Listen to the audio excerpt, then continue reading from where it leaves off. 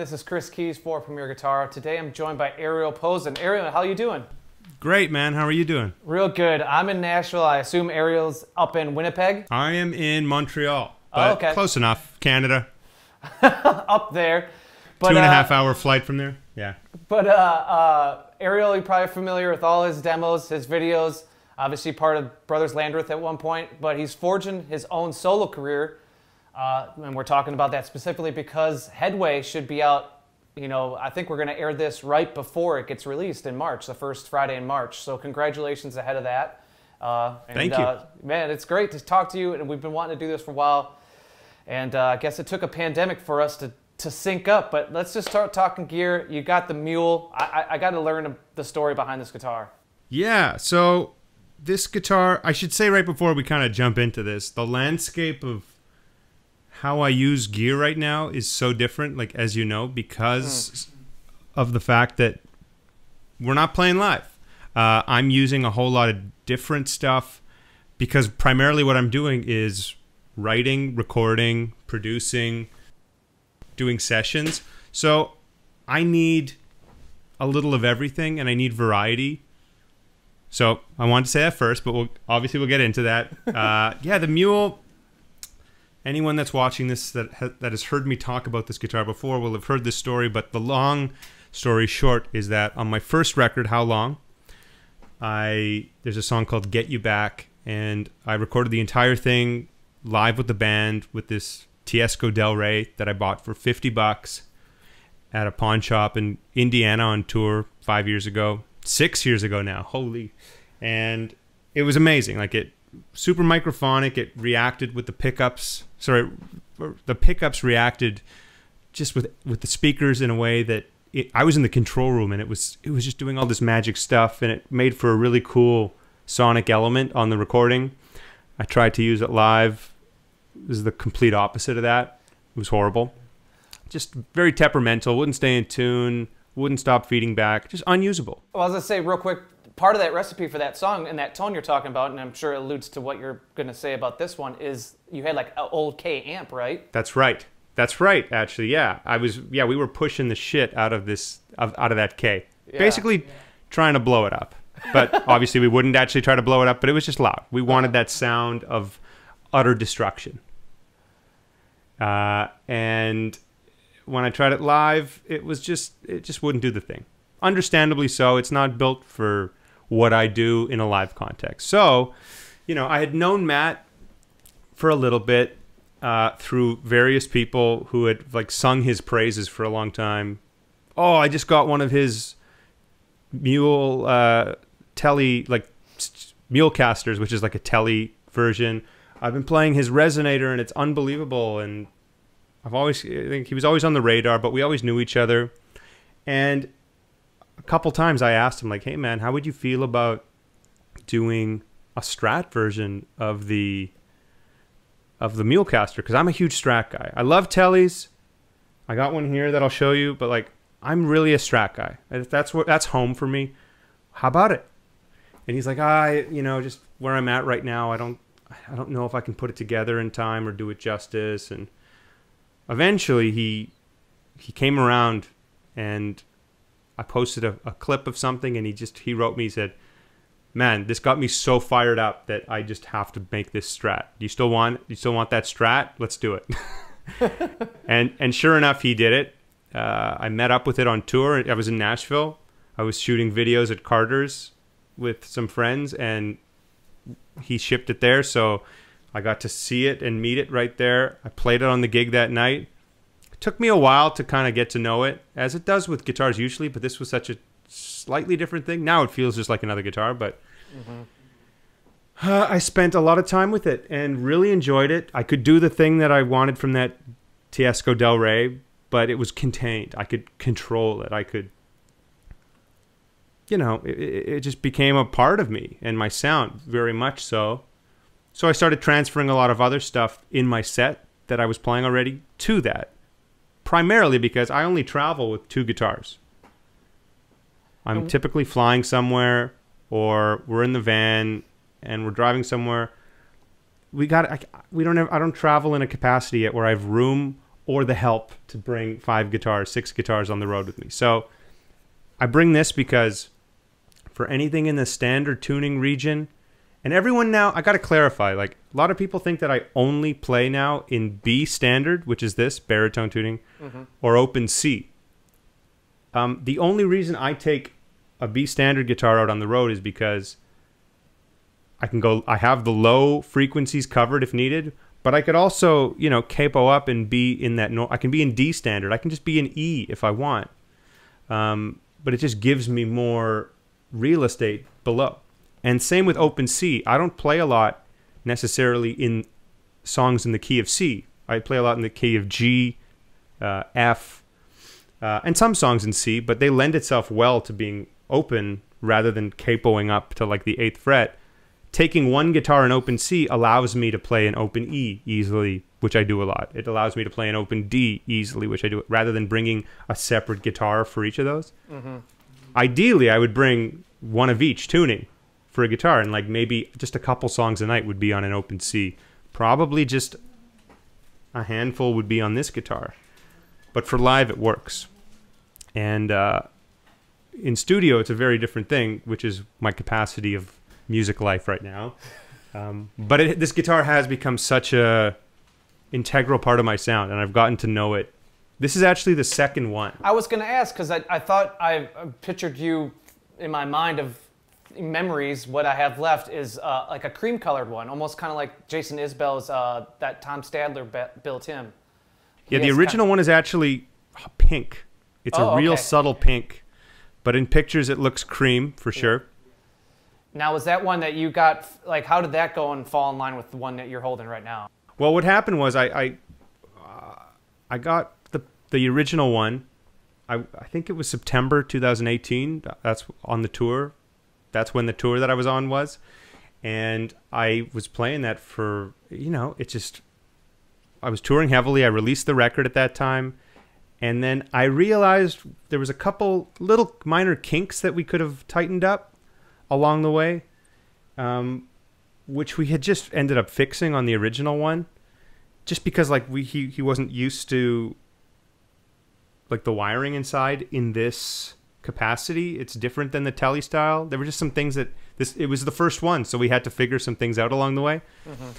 But i had been using the guitar so much and it was becoming such an important part of my sound i couldn't really i felt like i couldn't do a gig without it so i wanted a backup. I wanted a spare just to be safe. Mm-hmm. So he built me a backup, and that showed up around April. So, you know, seven months ish later. And at that point, it showed up, and I was like, okay, I guess I'll, t- I'll take this one. I was touring the States, and I guess I'll take this one out on the road. And something about it, I connected with this one with so much more. Mm. And I, I almost it's like the first one is the backup now. yeah. Now, what about pickup differences? And is anything that different between the first one and this one, and, and anything else that's warranted between like the two thing, the two models? Pickups are the same. Uh, string gauge is the same. Bridge saddles all the same. The only difference, and I don't know why that is. Uh, I mean, the neck, the wood, I think is is. Di- I have like some kind of darker baked. I don't even know what it is. I think it's just like a baked maple on both, probably, but it's like cosmetically that's the big difference on them. Okay. I essentially everything is is the same. I feel like my the original one has a bit more headroom. Like I play it and it it it really doesn't compress at all, which I like. Mm-hmm. This one actually compresses a bit more for some reason.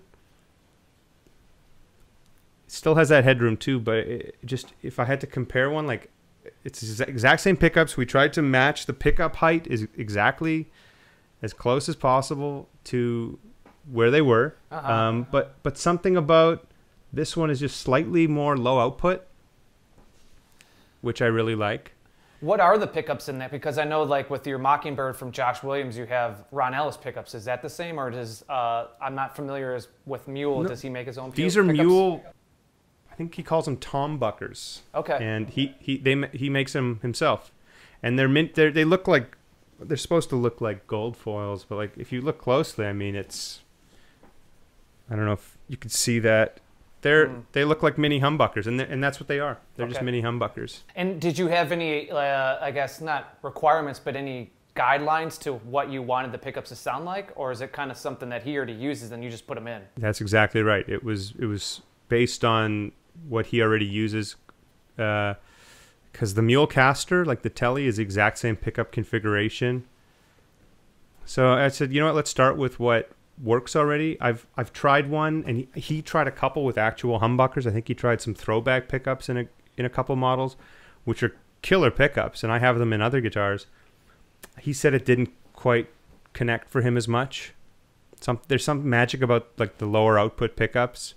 I would be curious to do another one with, you know, some like do a single coil strat setup or something like that and see how it reacts. You briefly mentioned uh, strings. Uh, could you be more specific in terms of like brands and gauges? Yeah, so again, this is only when like the other guitars I'll show you are we'll get to those, but I can't stress enough. This is another thing that everyone thinks I'm only always playing these these gauges, but it's only when I I'm tuned down to B or C. I'm I've been using Stringjoy out of Nashville, Mm-hmm. and we came up with a a combination of of 17 to 64 with a wound third string that really just does the trick. And how I always say it should feel is like it shouldn't feel different. Like yeah, you feel a bit of just a touch of fight because it's heavy, you know, it's heavy strings, but if the setup is right, if you're in B, it should feel like you're in standard tuning. Like don't get me wrong, playing 13s in standard tuning, that's insane compared to this. It's a whole different thing. The tension is matched, right? Mm-hmm. Um, but that's that's what works for. I basically run down like the same cycle. So like for standard tuning, depending on the guitar, I'll play 11s or 12s. Standard, like that's my that's what I like. I dig in and I just like a bit of a fight. I don't like it to be too light and loose. Mm-hmm. If I was going to go to D, open D, you know, I'd probably do 13s or 14s. Go to C, probably 15, 16 and then we got to B, 17. It just worked out that way.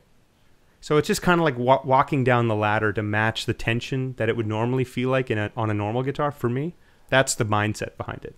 Now, what about uh, this thing? Gets it's a question that not often asked in these because it's so, I guess, like ingrained in the player. It's individualistic, but it's worth asking you because you go from fretting, you know, chords and slide at the same time.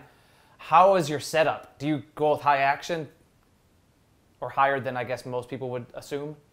Yeah, this is this is the thing that's the same on any of my guitars. I don't know the exact measurement, Yeah. but my tech just knows, and I have, and still even my tech that has been setting my guitars up for me forever, I still need to take it, play it, and go ah, almost a bit higher or ah, too low.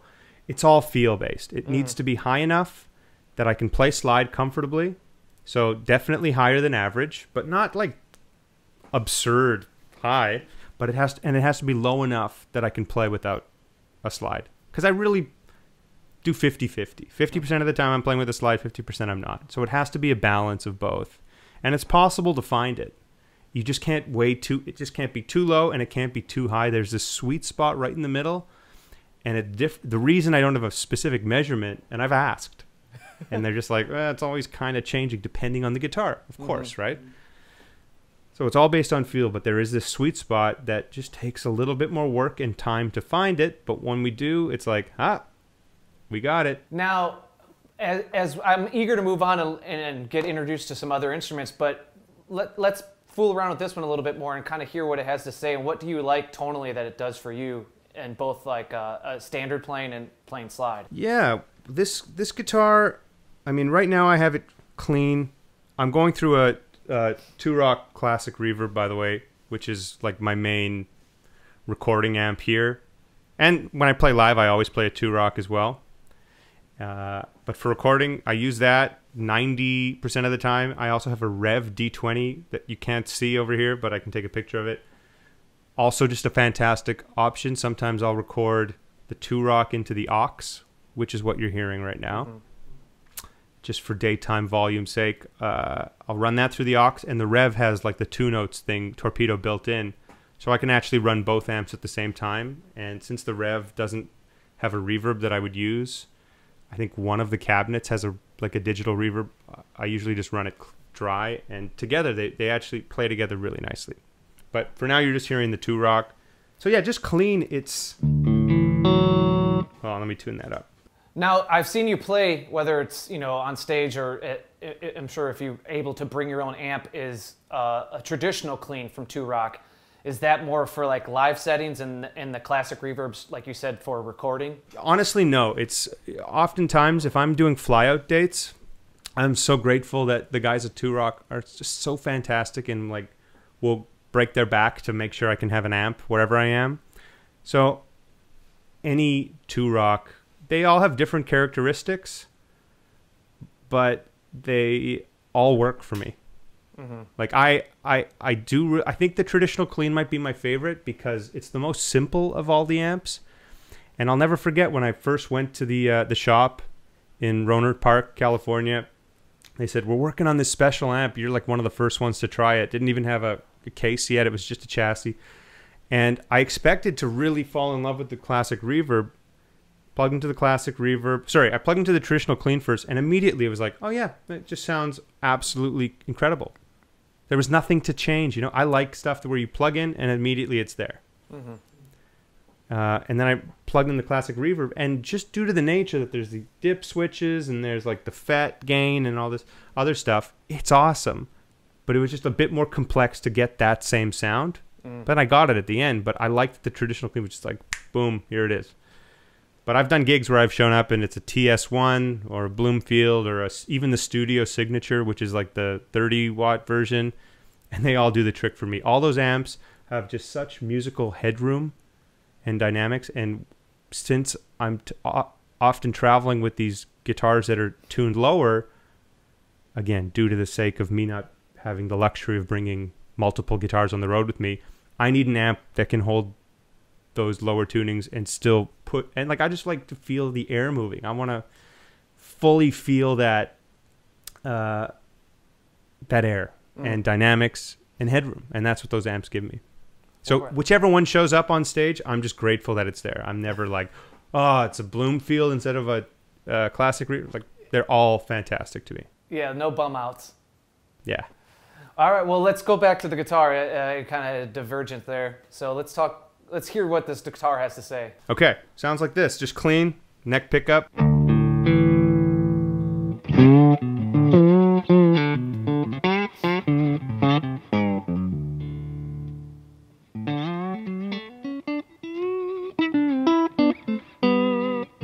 I should also say I typically have one overdrive on always.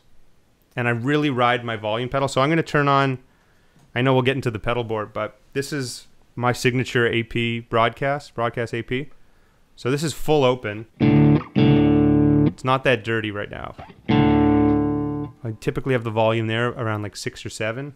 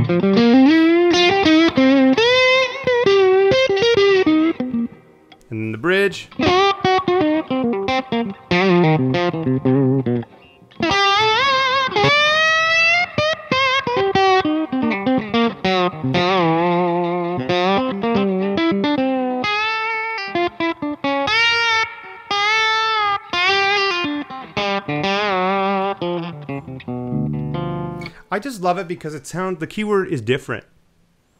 It's not necessarily smooth, like it doesn't you don't get like that glassy strat thing. You don't get that bitey telly thing. It's not the warm 335 Les Paul thing. It's just kind of its own sonic space, mm-hmm.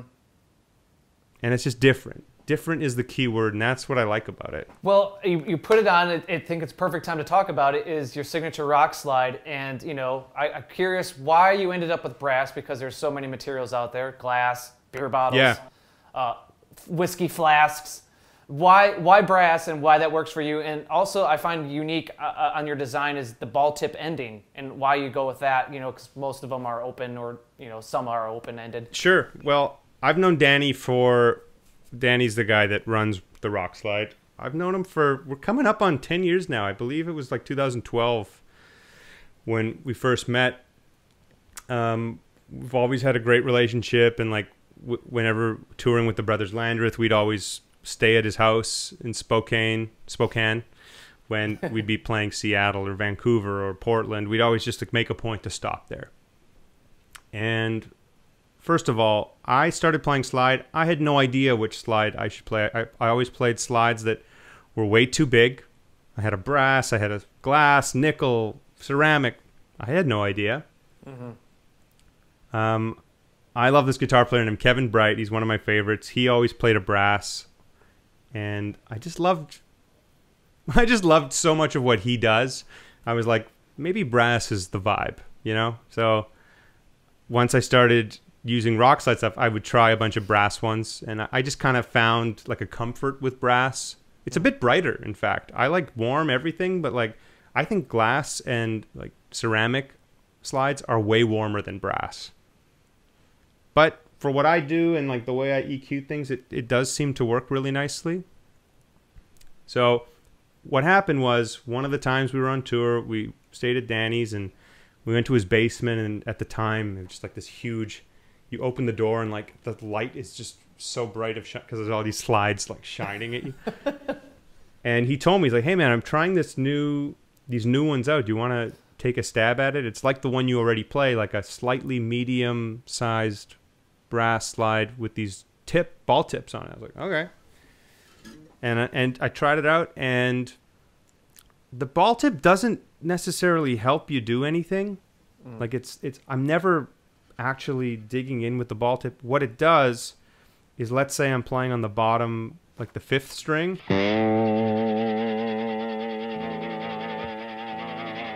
Normally with if it's a cut edge, you could get a little bit of like this ugly noise. Mm.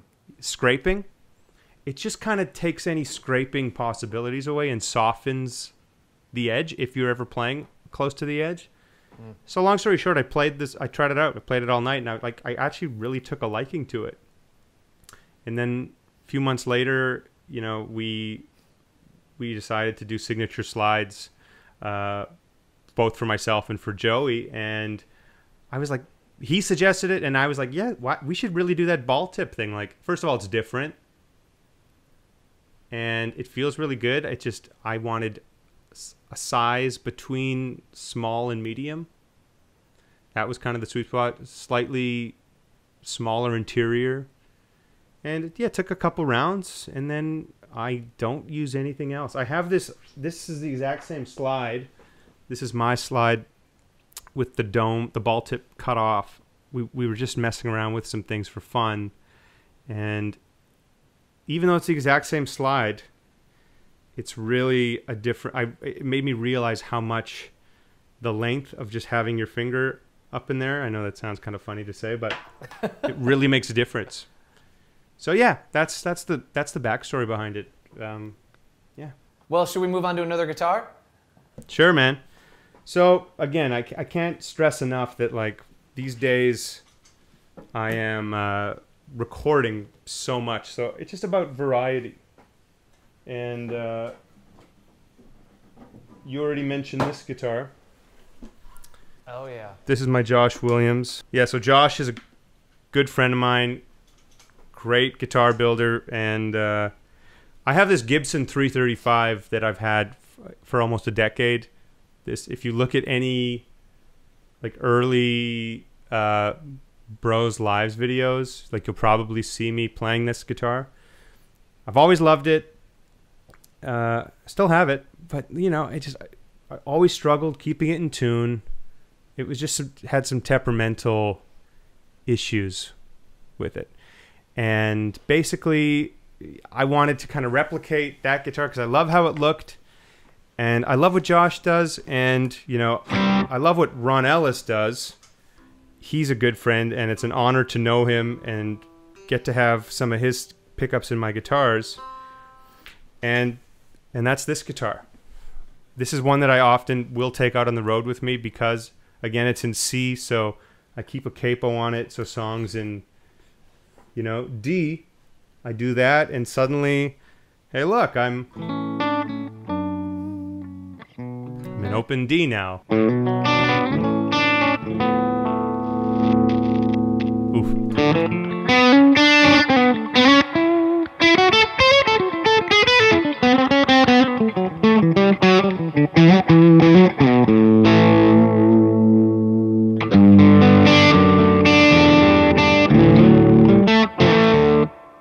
Sorry, just just just clean.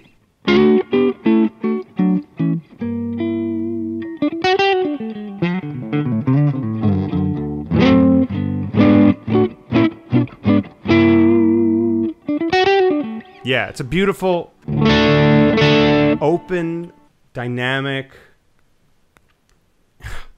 It's just so it's just very dynamic. The pickups, uh, like are they're hot. They're like PAF style, but they're still like I don't know. There's something about them that I still live around seven or eight. You know, especially let's, let's say I kick on a fuzz. This is fully wide open.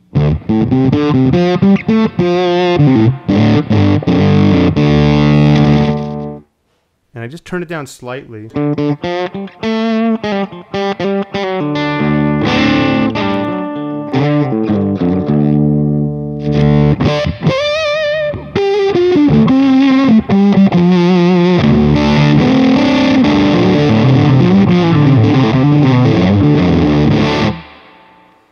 I know the fuzz kind of cleans up on its own, but I'll show you. I meant to show you just with with an overdrive how it cleans up. Like, sorry, that might Man. have peaked. Did that peak? I don't, and not on my end. I don't know. It sounds marvelous, but you know, I can't, can't say. Just to be safe. So yeah, wide open. Turn it down a bit.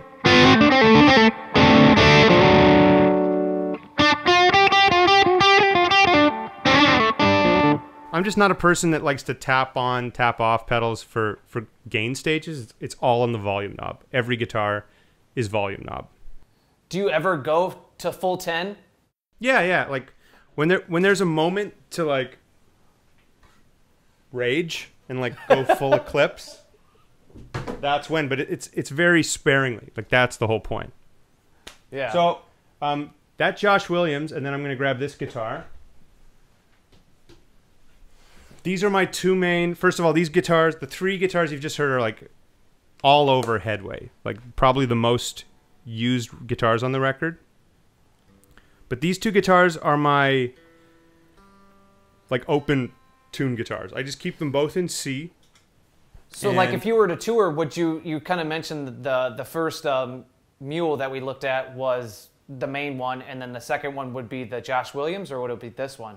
It would be my Josh Williams, or I have a Collings 360 LTM, which is not with me at the moment. That's that's my typical open tuned touring guitar. That's kind of like a Les Paul meets Jazzmaster. Yep. It's great. But this Jazzmaster, first of all, again, I've always been a Strat guy, but this guitar has changed my outlook on Fender guitars. Like this Jazzmaster, I've always loved Fender guitars, um, but the Jazzmaster might be one of the most insane guitars out there. And uh,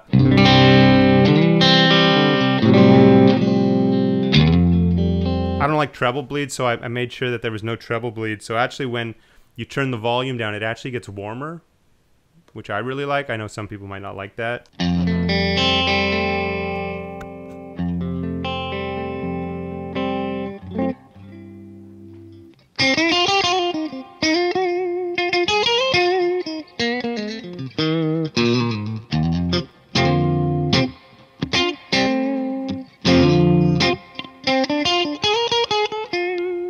This guitar.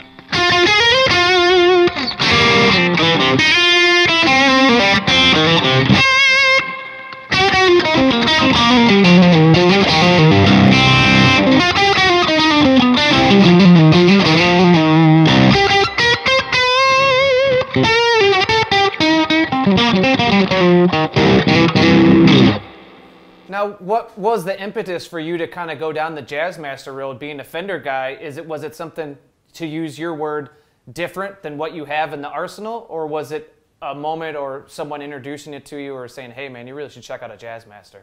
It's uh, it was self motivated and self discovered. Uh, I was on tour in the UK and I was at Regent Guitars and I saw a guitar that looked exactly like this and I played it, and it was beautiful. It just changed. Changed the landscape of how I I, love a Strat. I love a Tele. They sound. They have their thing but it was just different. It, it, occupied a different sonic space. So different was the keyword, and again, this is in a lower tuning, so I know there it's a bit of a different beast in standard, but with the big open piano chords.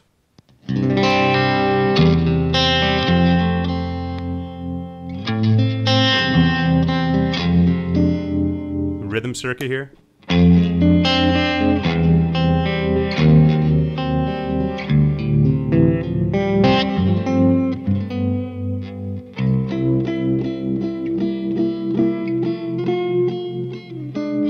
just it just occupied a different sonic space that I hadn't experienced before, and it was just inspired, inspiring. Like that's what inspires me is difference, new things, new sounds, and especially when you're cutting tracks on a record, a really bright open E jangly thing on this and a real dark open jangly thing on the on the Mockingbird together in stereo makes a pretty nice thing. You always want to have two real opposite regions of sound, at least for me. So you call you call it heaven, at least in terms of like dark or not dark, but heavy and light. Are you saying that because you saw my video of me breaking down a song where I went, this yes. and this is heaven? Yeah, yeah. I might have watched it. Yeah. My man. That's well, exactly it, though. Um, and those are, uh, yeah, these are like the only two open open tuning guitars that I have that I've been using like primarily right now. Do you want to see a few more? Yes, absolutely. That's what we're here to do, Ariel. Okay, so again, I, I, I haven't gigged with any of these guitars, and I don't know that I I would for my thing.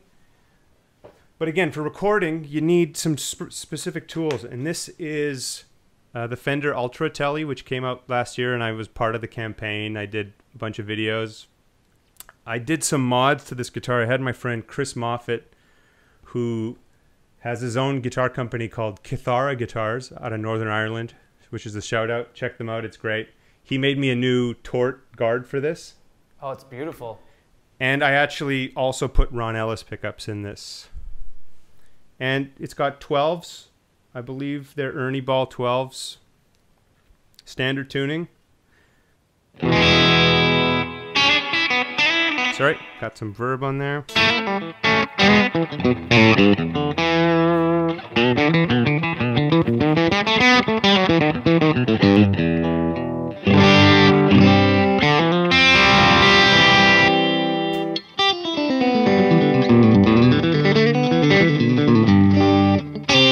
know, it's a telly.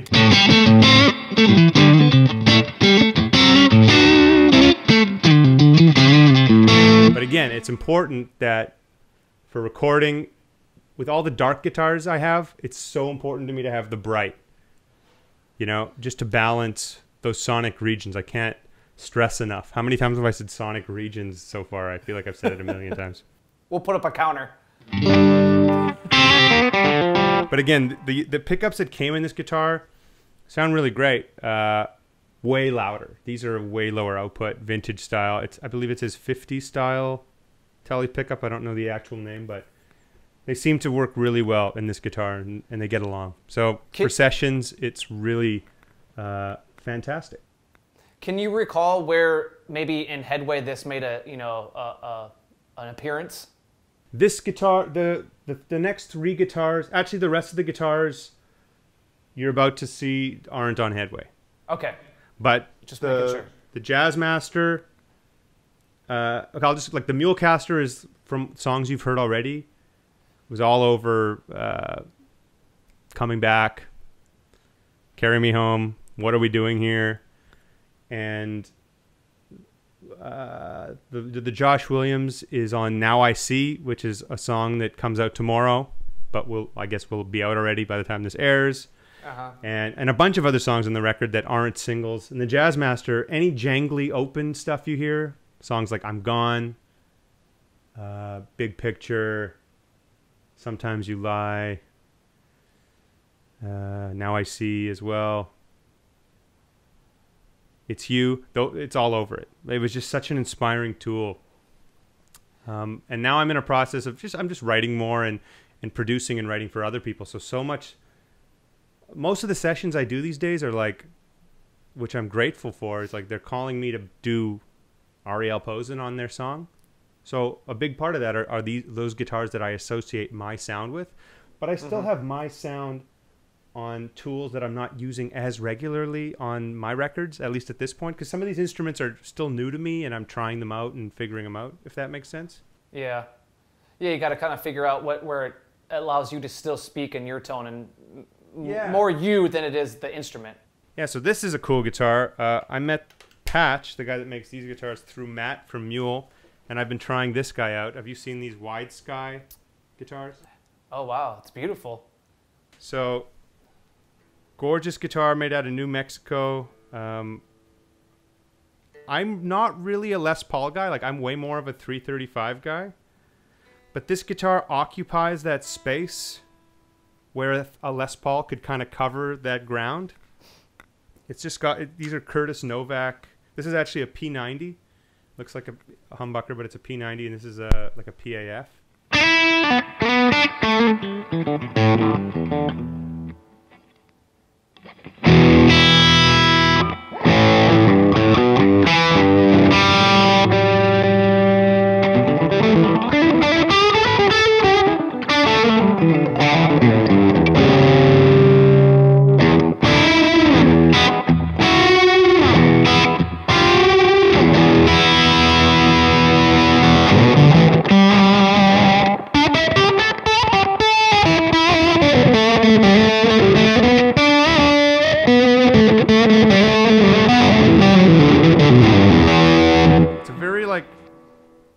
Face rock machine. I was gonna say it's a rock machine. I literally was about to say that a Yeah. rock machine. It can be pretty, but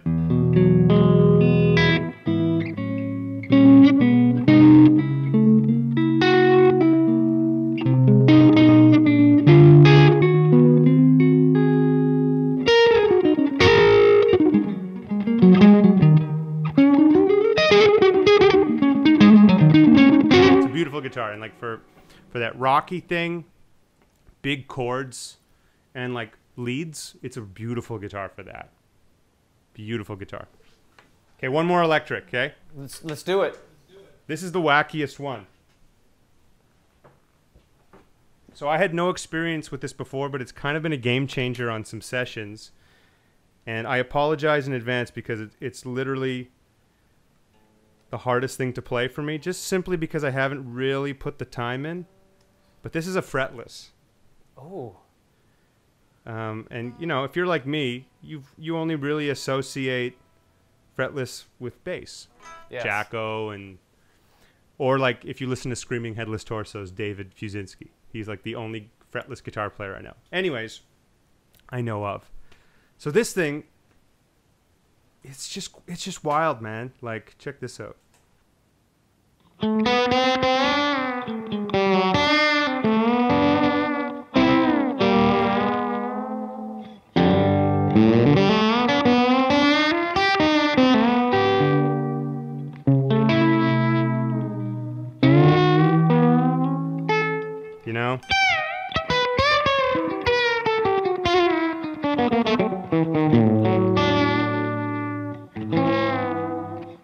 For the attitude playing. I'm What's for- like your bet? What's like your initial takeaway of something like that? Because it is a total. I mean, it's a it's a familiar instrument, but it's a completely different instrument at the same time. Yeah, So I like, mean, what, what I just did- enjoy about it?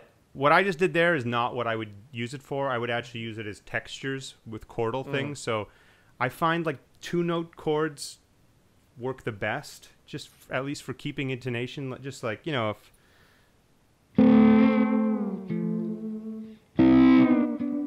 you know?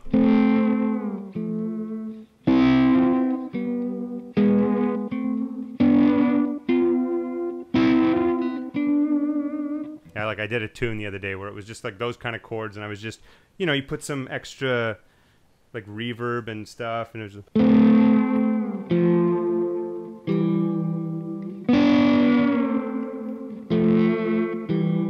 It's very different from slide than what you would think. Like everyone asks if it's like playing slide, but in my opinion, it's super different. It's a completely different thing.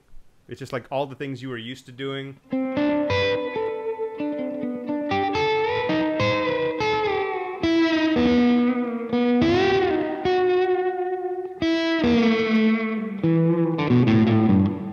Yeah, you just can't do all your normal stuff. I should also say this is made by Dahlberg Brothers in Copenhagen Huh. in Denmark. Um, they yeah they had reached out. Again, it's about different, and I, I was like, you know what, this could be a really useful tool to have a fretless. Like it's it makes for it's one of those sounds that when you're listening to it in the concept of context of a recording, you shouldn't be able to pinpoint what it is. You're like, what the heck is that? And that's that's what I'm going for with something like this. Just I just love it.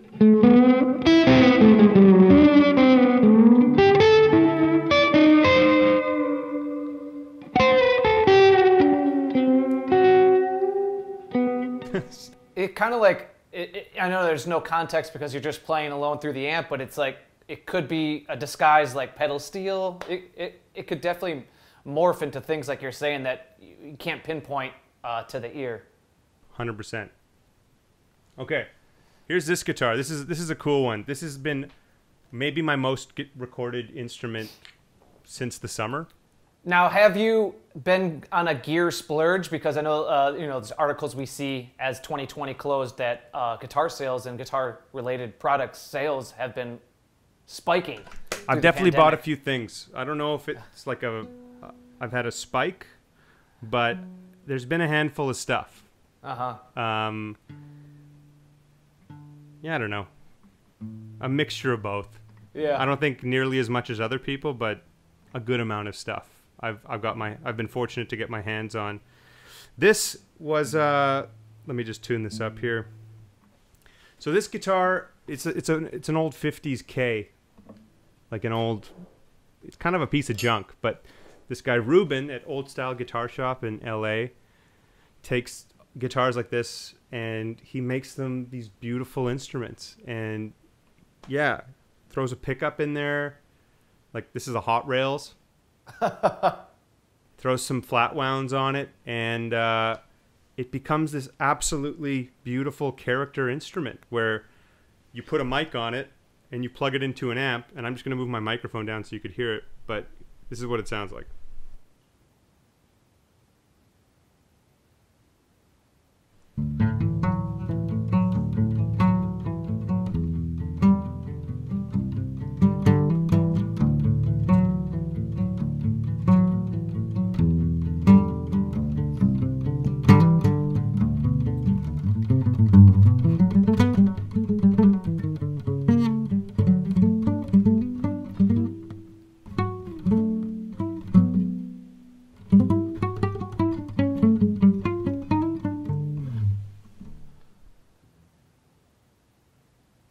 Super inspiring for me at least. I I get a lot of mileage out of this guitar for writing and for recording. Again, it's about a texture in the in the context of a mix. When you have a, an acoustic going or a bunch of electrics, something like this is different and pops out in a different way. Now, it, it, I can't. I, I think it's Baxendale, but I could be wrong. But I know that the Drive By Truckers and uh, Butch Walker have guitars by a different guy. I think he's out of Alabama that does a similar type of process. He finds old acoustics and rebuilds them to you know modern playability. Ah. Yeah, I mean, I met Ruben through some friends of mine in LA who are all amazing guitar players also and I had always seen them playing guitars like that and something about it just always that sound was just like, "Oh, that's such a nice gorgeous sound. I'd love It's another tool in the toolbox, right? Yeah. So they yeah were kind enough to introduce me to him, and uh, yeah, had had it, it- and this is just what he had made. Like you never know those kind of things. It's like well, this is just what I currently have. It's not like I have a whole stock of stuff. It's whatever falls on the bench, and I'll turn that into something. And he happened to have this, and I was like, yes, I'll take it. yeah, Well, should we have you put on an electric and then, you know, you already briefly mentioned the amps. Yeah. Uh, if there's anything else you want to talk about those amps, otherwise, uh, we can move right into your pedal board. Yeah, I was gonna talk about one more acoustic, but we don't. Have Okay, yeah, no, we can totally do that. So I have a nice Martin D28 at home back in Winnipeg, which I don't have here at the moment. Um, but the fine folks at Collings have let me try this guitar out for a little bit. But I've just been using it a lot on sessions. And this is their D1A T, I believe. Can you hear that? Yeah, oh yeah. and it's just it just does the thing. I've always loved dreadnoughts more than like OMs or like jumbos or any other stuff. I've just it's just my favorite kind of guitar, and for recording it just.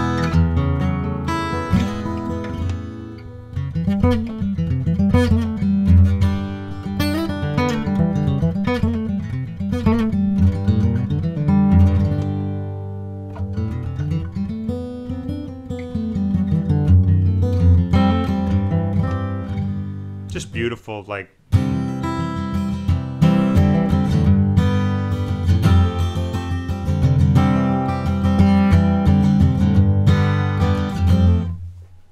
Much more traditional sounding than the the the Kay that we just heard. Which is 100 good for like 100%. recording. Hundred percent. Like the uh, the Kay is a character piece for once you have all the meat and potatoes down, that serves as something to just put put on top of it. You know, It's the gravy. it's the gravy exactly. Okay, pedal board. Uh, what guitar? Just I guess I can just Dealer's choice. Okay, we'll go There back to the mule. So yeah, this board has been. I'm actually in the process, and maybe we'll have to do like an episode two down the road. But I'm I'm in the process of putting together a a new studio board, uh, like with some pedals that I wouldn't necessarily hit the road with. Like I have the automatone and the the poly digit on there, and the other the the Meris Chase Bliss one. Okay. You know, a lot of crazy, awesome pedals, a lot of MIDI that would be way better in a studio setting. The, the pedal board I have here, I've had, I've been using this for a year. It served me well, very well on tour before everything shut down. And you know what? For sessions, it's actually fantastic too because I have the Eventide H9, the Tonal Recall, and the Dark World alone just have so many sounds to it. Those are powerhouses. Powerhouses. All three of those. So yeah, I mean, I'll just go through it in reverse order, I guess. Lead us lead us down the path. Okay, so I'm just clean right now. The only thing you hear is the tonal recall. And it's got like a slap. I need to clarify another thing. I did a little rundown somewhere else and I said, yeah, I use the tonal recall only for a slap. And what I meant was when I'm playing live, I'm just not as much of a delay guy. So I always have slap on. Uh, for recording, though, it's a different story. So just wanted to make that clear.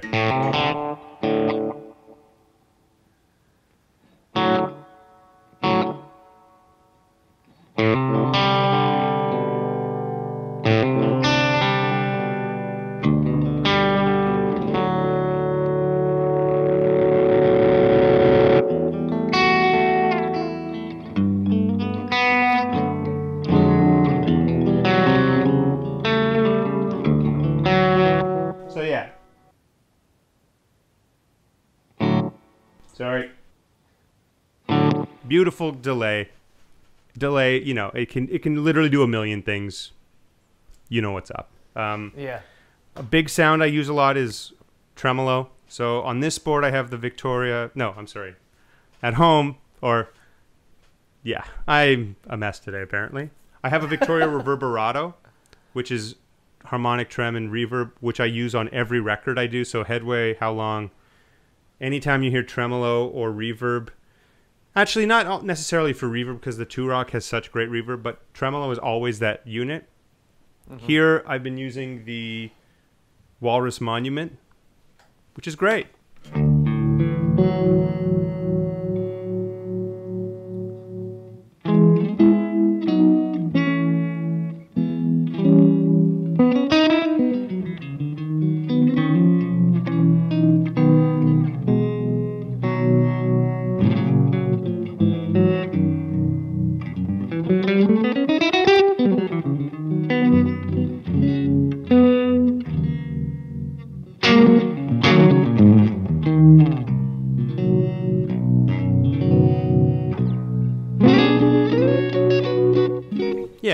You you add a little bit of reverb.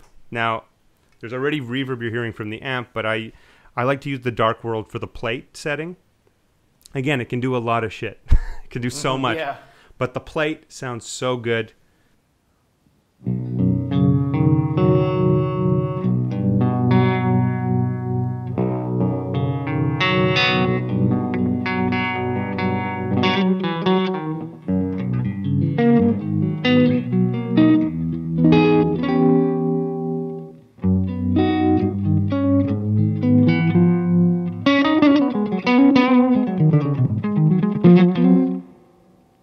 Could just get lost in that endlessly.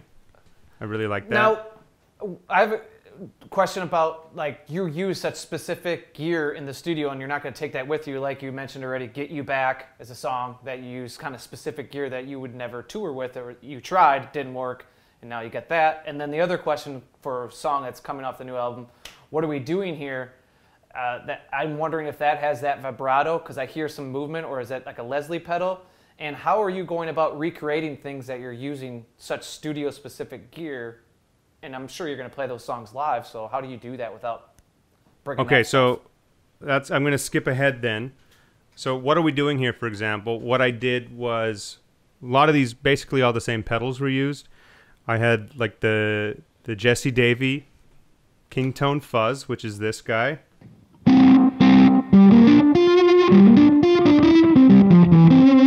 With slap on, which is very important. I had no reverb on, which I will get rid of.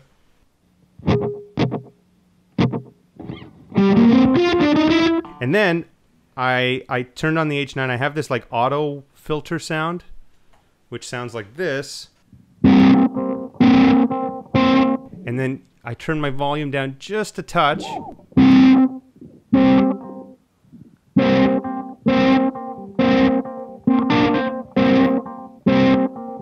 So like what, what you were you what you're used to hearing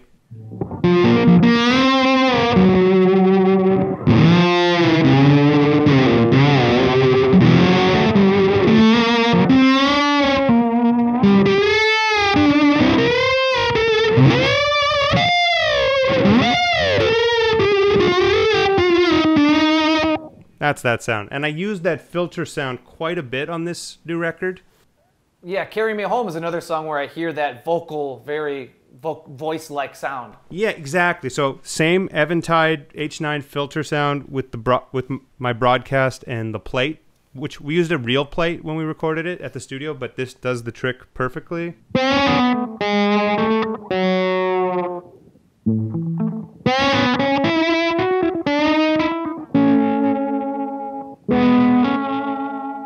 That's definitely the sound. There's one other song on the record, which, as we film this, hasn't come out yet, but I've been performing this song for a year and a half, like before the pandemic hit, called Heart by Heart, and it's got this kind of sound on it.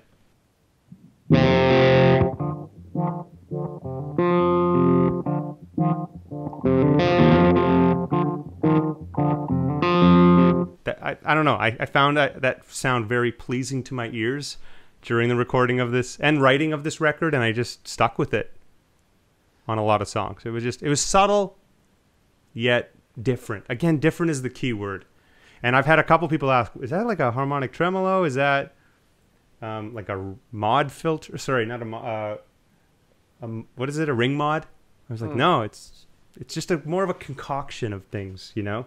Now, didn't you write a bunch of this, if not the whole thing, shortly after the f- last record? How long wrapped? Like you hit, and so you're kind of this is almost old material to you in a way. Some of it is, yeah. So, uh, recorded how long? In March of 2018.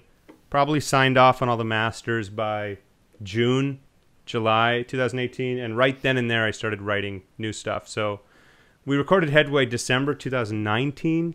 So, I had about a year and a half of writing these songs and starting to perform a lot of them live, Okay. which was good to be able to like test test drive a bunch of them and get to know them in that kind of regard. So do you have like a third album already in you then? I assume.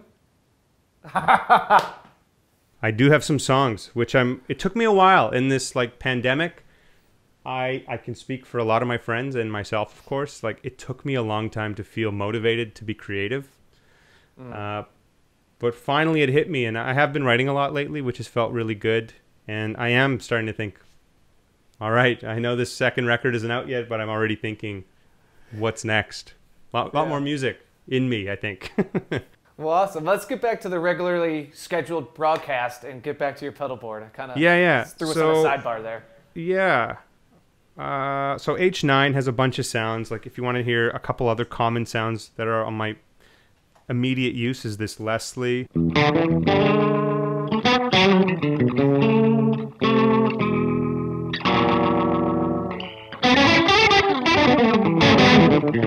Which sounds really nice if you kick the fuzz on too.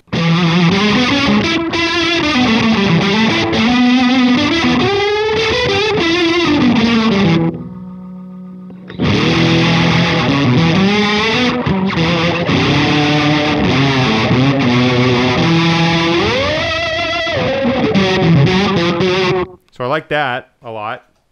The H9 also, these are sounds I wouldn't use as much live, but for studio, which is again was what I'm doing, I have this nice little like tape delay sound.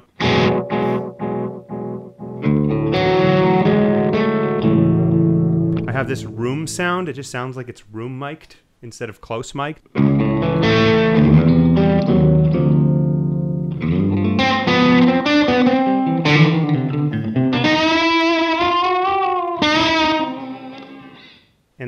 Just some other bonus ones like another slap just in case. the the old crystals, classic H9 crystals. Or the seagulls, I think maybe they're called.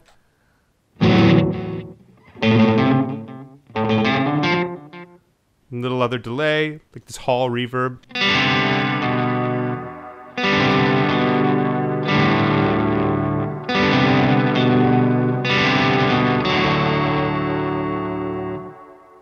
And that's about it.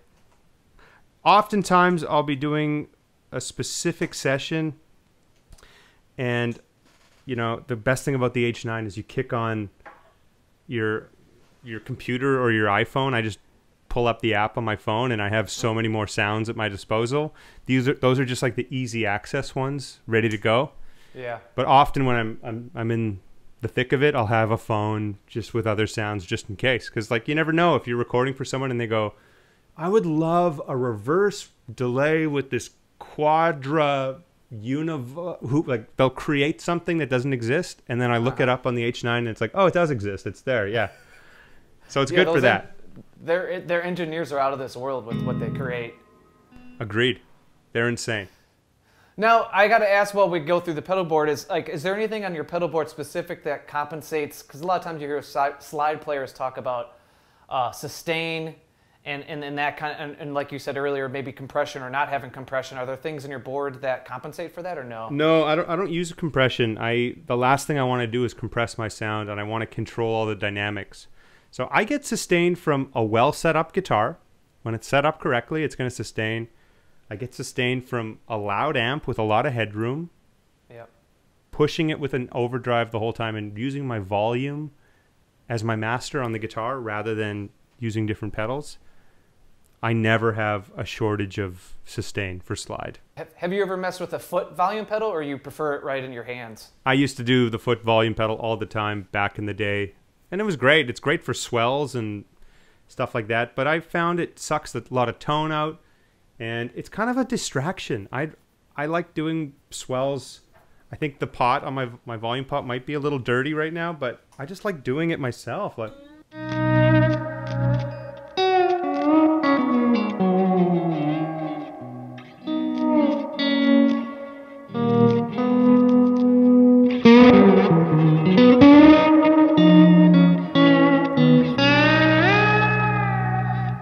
just so used to doing it by hand now that I it, it's, it would serve too much as a distraction hmm.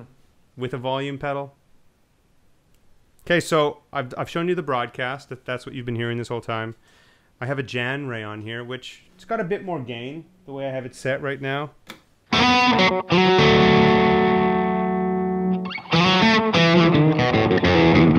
We all know the Jan Ray. It's a great just overdrive. Usually live, that's my always on Okay. and then I'll use the broadcast to push the Jan Ray. So I'll, without it, I'm gonna kick the broadcast on.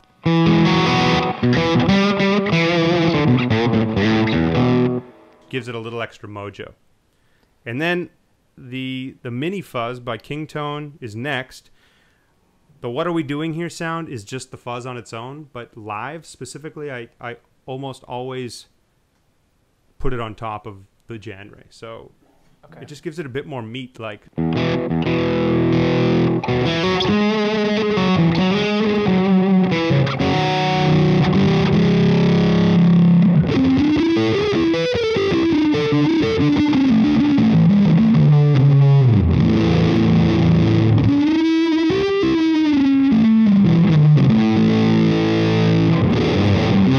it's like way over the top and it's fun. You use it sparingly in the right moment and uh, it's great. I'm often using it like in this kind of context like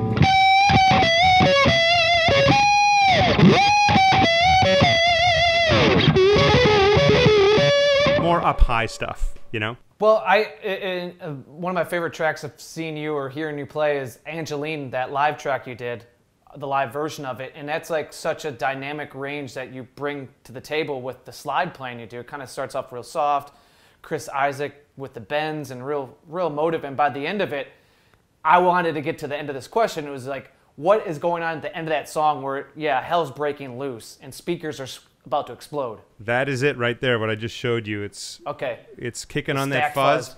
And I'll actually live. I will kick on the Dark World too, which gives it that plate sound. I find live the reason I use slap all the time and not delay. I like to make a lot of people use delay. I think to make their sound bigger and last longer. And I like to get that from a reverb instead. I don't necessarily want to hear repeats. I just want to hear rather than hearing the note, note, note, note, I'd rather just hear the note. I just rather hear sustain than repeat repetition, Ah. and that's what um, the Dark World does for me. So, like in that Angeline moment, I'll, I'll typically have the Jan Ray with the tonal recall on. That's it. Until and like my volume's like on three for the first couple minutes, and then I always talk about this. We level up to the next tier, and I maybe go to seven or eight on the guitar, and then when it gets to that point where it's balls to the wall, I kick on the fuzz, go full volume, kick on the reverb too, and it's just it's just a big, it's a big sound. Um, the last pedal, man, is is the Mythos Argonaut, which is the tiny version. No, there's no uh, EQ or anything. Is what you get is what you get. Octave. Here's what it sounds like without the Jan Ray. Sorry.